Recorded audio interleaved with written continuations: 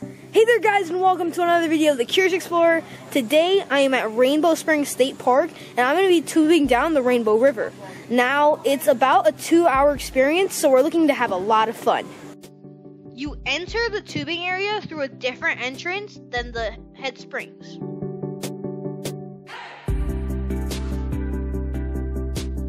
It costs $24 per person with a $2 admission fee.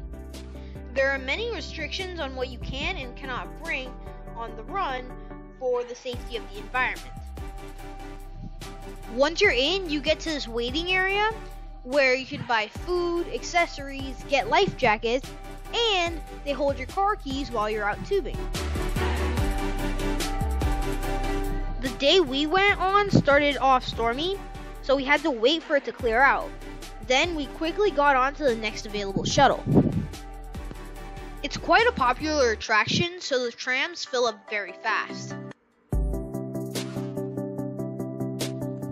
The tram takes you to the campground, which is where the tube run starts.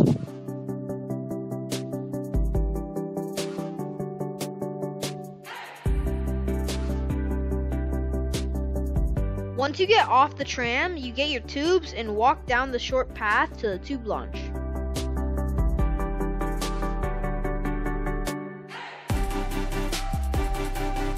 Water is a refreshing 72 degrees all year round.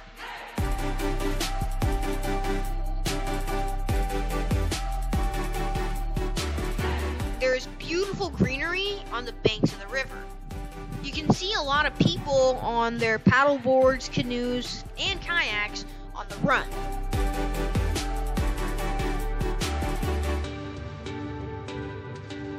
The water is crystal clear, blue, and has an endless sea of eelgrass underneath.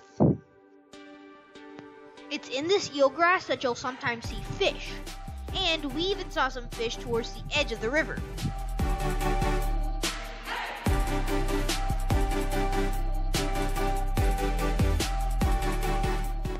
As you get farther into the run, the right side starts to get dominated by private property, and the left side stays pristine.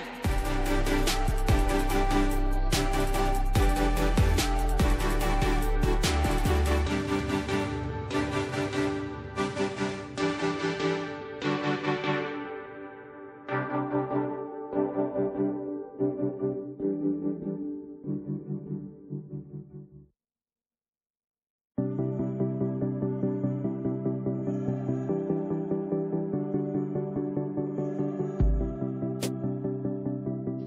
end of the trip, you get to a ramp where the park staff help you out of the tube and tell you where to put it.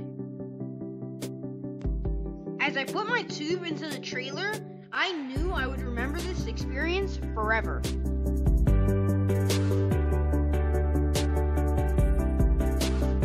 If you enjoyed this video, don't forget to like, share, and subscribe to my channel. And together, let's continue to explore.